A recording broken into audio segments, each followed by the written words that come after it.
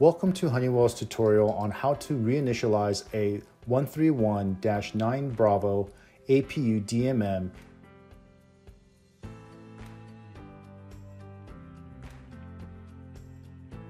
Using the MCDU, press Index, Maint, APU, ident config respectively. The ident config page will display the installed DMM data. Pull circuit breaker P62, then pull circuit breaker P64 as shown. Install circuit breaker lockout tagout rings to the pulled circuit breakers and APU switch.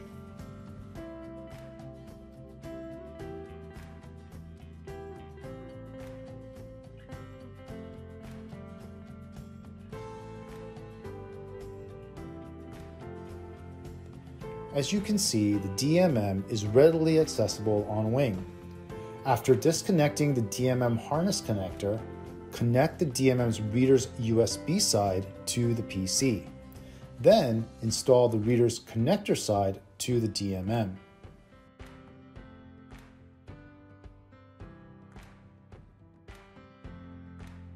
In many cases, a DMM will need to be replaced. To perform this task, simply remove the four mounting bolts as shown. Before initializing the DMM, it is necessary to determine the correct APU input values. The following are distinctive APU inputs that need to be determined. Start by double-clicking the WinDMM icon. Select 131-B. Then select Change Specific DMM Entry Contents. Select Service Bulletin 8260.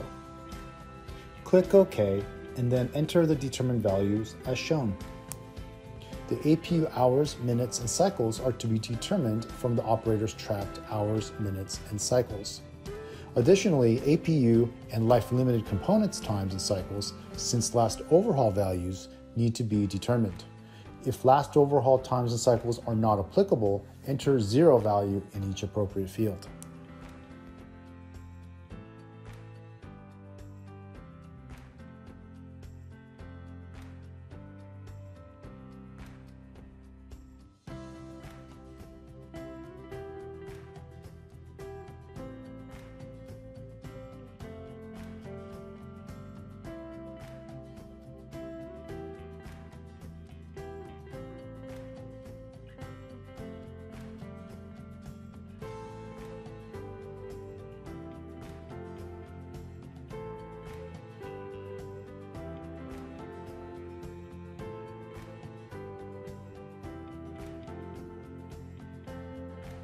The ECS offset is typically found in the APU logbook.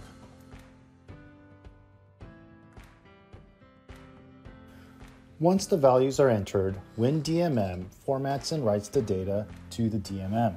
Afterwards, WinDMM then downloads the new DMM data and saves it as a DAT file in the PC as shown. As you can see, you can verify the new values by double-clicking the DAT file sorted by APU serial number.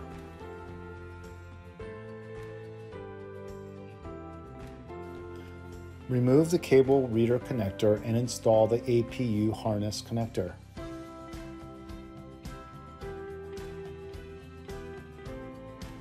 Remove circuit breaker lockout tagout rings and reset the circuit breakers.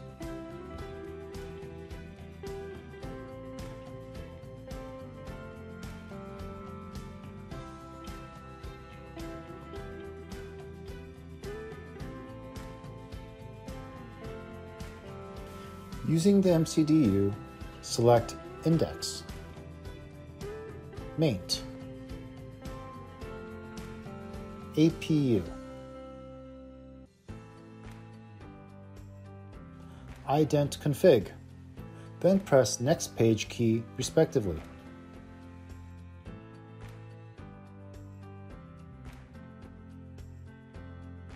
Then select DMM data in the ident config page of the MCDU. Toggle through DMM data using next page and previous page keys to verify DMM data reported to the APU's ECU. This completes our tutorial. I encourage you to visit the Honeywell Aerospace website that offers more in-depth information